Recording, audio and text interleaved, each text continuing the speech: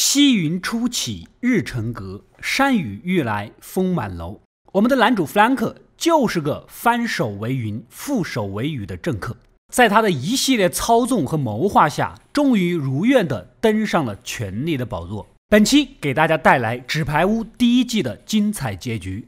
上一期说到，男主故意整垮了竞选滨州州长的光头哥，导致位置空缺，然后怂恿副总统降级参选。如此一来，副总统的位置就空了出来，成为男主迈向白宫的重要跳板。然而，即便是几个盟友帮忙举荐，总统依然有所犹豫。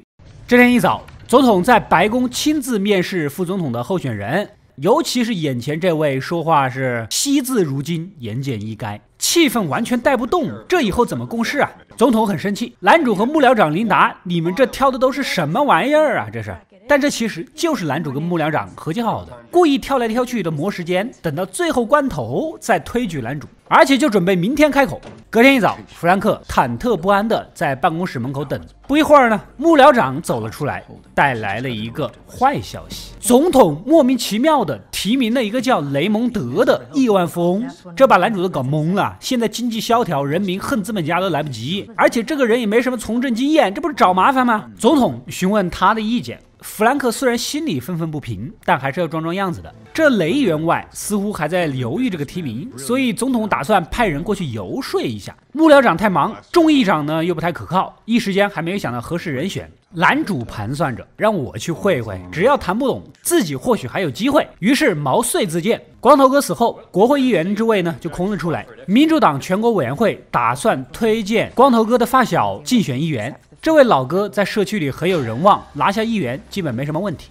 女记者佐伊的前辈简姐得到消息，打电话过去采访。聊到了当初船厂关闭的事儿。根据军事委员会的笔记来看呢，当时光头哥没有据理力争，导致船厂关闭，是不是有什么隐情呐？发小呢，当时也质问过这件事儿，详细的说不清楚，只是隐约知道党内有神秘的高层在背后施压。简姐一听，这似乎是个爆款新闻呐！深入调查发现，光头哥啊，原本只是个资历不足的小议员，但是自从船厂关闭，民主党党鞭弗兰克立马捧他竞选州长。这不是明显的 P Y 交易吗？转头就跑去向佐伊求证。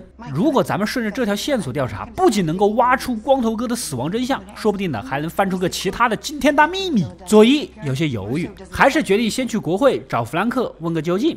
然而呢，他的回答呀非常的简单：谁是最大的受益人，谁就是幕后黑手。这就是弗兰克的高明之处啊！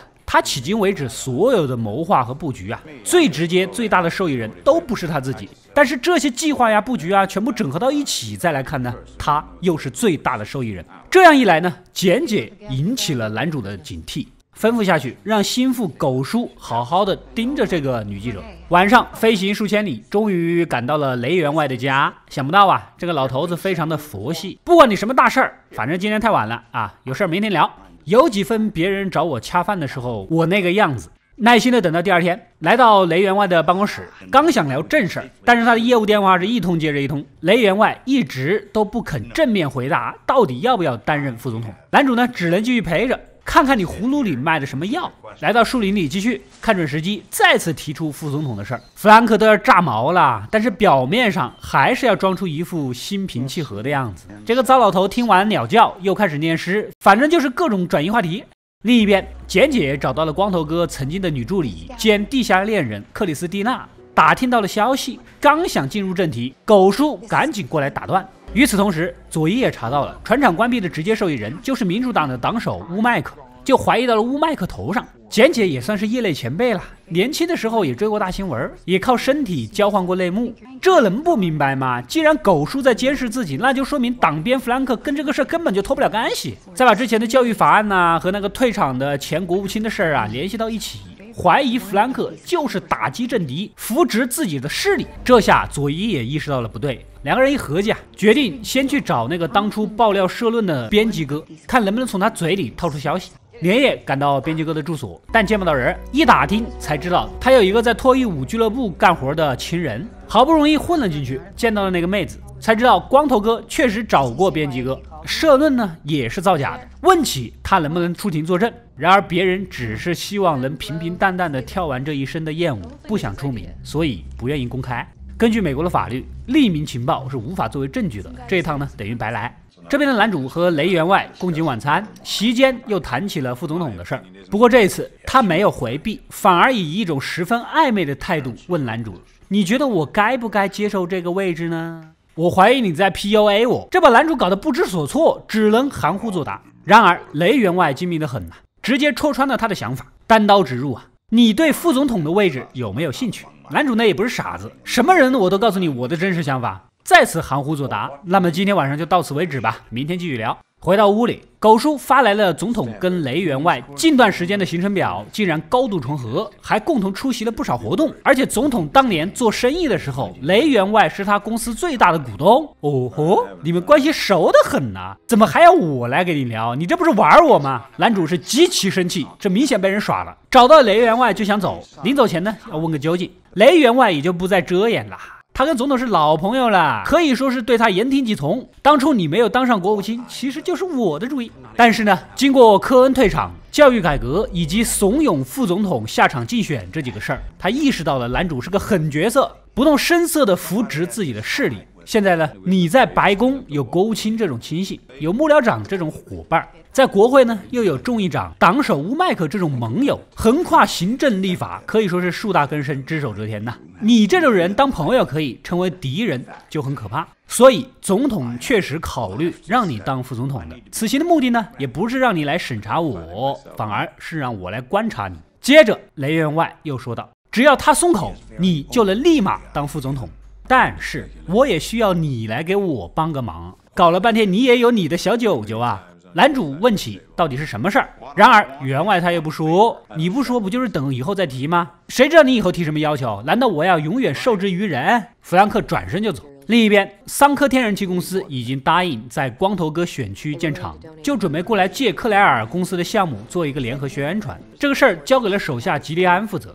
巧就巧在做宣传的这个项目“世界之井”，其实就是吉利安在加入公司之前就已经在做的了，而且网上知名度很高，是他多年来的心血结晶。让一个肆意开采资源、破坏环境的公司利用我的环保项目做宣传，他完全无法接受，于是拒绝了桑科公司的拍摄。克莱尔得到消息，怒气冲冲地找他理论。吉利安呢，也算看透了，你就是个想靠公益项目赚名声的虚伪女人。两人大吵了一架，当场就把吉利安给开除了。然而对方也不甘示弱呀，正好她怀孕了，找来了律师控诉克莱尔的公益组织开除怀孕的员工。克莱尔都傻眼了。一旦上了法庭，只会输，胜诉率是微乎其微。而且这个事儿一旦爆出来，绝对掀起铺天盖地的舆论呐！公司事小，民主党党鞭的老婆把怀孕的员工开除了，这不连累男主的公众形象吗？没办法，只能登门道歉，争取庭外和解。但吉利安强硬的很，必须在社会和媒体面前揭露你们丑恶的嘴脸，其余的我谈都不谈。这边的男主回到华盛顿，立刻着手阻止雷员外入驻白宫。美国的法律规定，大富豪出任公职就必须把自己的财产交给财务公司打理，自己不得过问。不然你一个开采天然气的当了官，你就专门优先通过天然气的项目，那不是既当裁判又当运动员吗？所以只要让雷员外的财产受到威胁，他肯定要亲自处理，就无法就任公职。故此，男主找来了桑科公司的说客老黑雷员外，是搞核能源的，跟总统又是老朋友的。一旦他当了副总统，你们搞天然气的还有好果子吃吗？所以，他怂恿桑科对雷员外旗下的子公司发起恶意收购。一旦那个老头分心处理，就无法及时上任。过几天，总统就要宣布副总统的提名了，时间紧迫，得赶紧去办。老黑都听懵了，雷员外的资产顶三个三科公司，这可不是小事情，只能先去问问股东们的意见再说。另一边。佐伊跟简姐还在继续调查，正好佐伊的前同事兼男友小帅在警局有熟人，费尽心思搞到了消息。之前光头哥酒驾的事啊，是被警察局长给按下的，不过也拿到了同车小姐妹瑞秋的案宗，这是个突破口。两个人忙活起来，佐伊去瑞秋曾经就读的高中了解情况，这才知道啊，人家也曾经是个品学兼优的好孩子，后来因为复杂的家庭原因，不幸沦落风尘。另一边，小帅呢装作警察，找到瑞秋曾经的同事，调查他的下落。与此同时，男主接到老黑的回信，股东大会啊下周才会开，但是等你们开完了，雷员外都上岗了，男主立马飞往亚特兰大，亲自跟桑科的负责人见面。这搞得别人有点猝不及防啊！一般商人为了避嫌，不愿意跟政客直接接触，所以才需要说客从中搞 P Y 交易。把这个事儿呢又复述了一遍。没想到对方想都没想，直接拒绝。他们也不愿意跟强大的雷员外为敌呀。隔天一早，幕僚长就带来消息，雷员外明晚八点就跟总统见面了，必须抓紧时间。不过这项活动并不在对外公布的官方行程里。男主有了想法，让他再加一个总统跟众议长的见面，也写在非官方行程里，然后找上佐伊，把这份行程扩散出去，这就让外界产生猜测，可能他们俩人就是副总统的候选人。这一步，媒体立马蜂拥而至，采访两个人。男主跟众议长早就通过气，所以众议长心里清楚的很，无比的淡定。雷员外就惨了，被门口的卫星车堵的是出不了门。与此同时，心里也产生了疑惑：难道总统拿我当幌子，其实想提名众议长当副总统吗？这边总统也怒了，向幕僚长问责：是谁把他的行程泄露出去的？当然呢，这也是商量好的，牺牲一个不太喜欢的手下而已。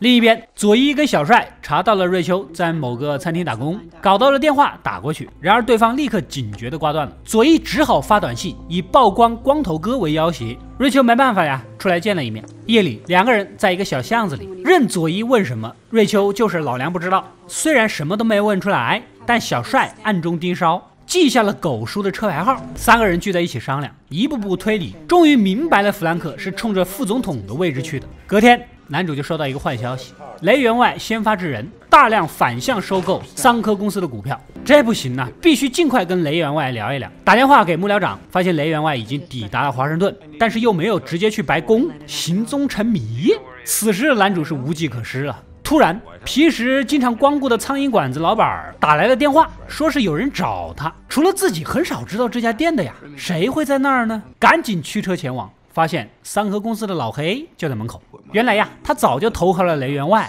男主的收购计划，员外能不知道吗？千算万算，没有想到是你个二五仔呀！走进店里，雷员外早已等候多时。事到如今，也无需绕弯子了。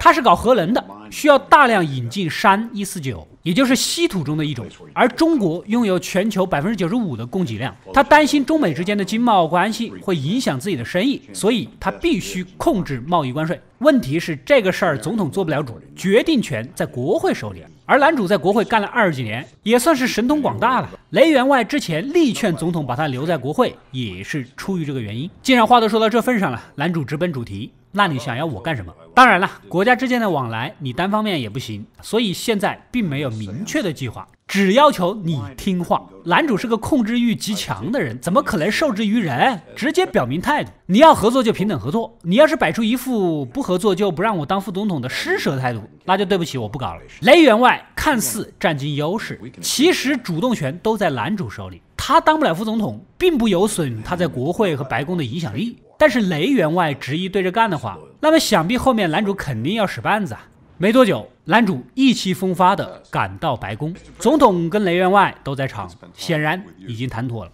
男主跟他对视了一眼，还要装作完全不知情的样子。还有这种事啊？我怎么不知道？雷员外呢也恭维了一番。当然了，戏还是要演到底的。回到家，男主是心情大好，当场就给贴身安保升职，别人也不忘吹捧奉承一番。这句副总统喊的弗兰克那是神酥骨软呐，妻子克莱尔也喜出望外。夜里，夫妻俩一起出门夜跑，虽然是一个皓月当空、明朗静谧的夜晚，但他们可能不知道，疾风骤雨也在暗流中逐渐的靠近。《纸牌屋》第一季的故事到这里就暂时结束了。男主志得意满的步入白宫之际，也埋下了不少危险的种子。佐伊作为曾经最接近男主的媒体喉舌，掌握了太多不为人知的秘密。他们这三个小团体一步步接近光头议员死亡的真相，那么他会继续跟男主合作，还是反水呢？另一边，孕妇吉利安也要将克莱尔告上法庭，一旦陷入官司，公益组织必然声名狼藉，男主的副总统之位也岌岌可危呀。夫妻俩该如何处理这个危机呢？当然呢，以男主冷血狡诈的性格，区区副总统还无法满足他的野心。在下一集里，弗兰克的复仇大戏才走向高潮。反复无常的幕僚长将被他踢出游戏，老谋深算的雷员外也和他反目成仇，而立于美利坚巅峰的总统也将成为男主权力游戏下的牺牲品。《纸牌屋》第二季的评分依然高达九点二分，可见观众对其质量的肯定。而他呢，也交出了一份满意的答卷。如果大家对这场《白宫甄嬛传》依然感兴趣，就点个赞支持一下。没点关注的赶紧点一个关注，可以第一时间收到我的更新推送。本期视频点赞过十万，《纸牌屋》第二季的故事安排。我是阿斗，一个让你沉迷于故事的讲述者，浓缩电影精华，又不失它本来的魅力。扫描二维码添加我的微信号，除了能第一时间收到推送，更有独家解读的视频等待你的发掘。扫描它，然后带走我。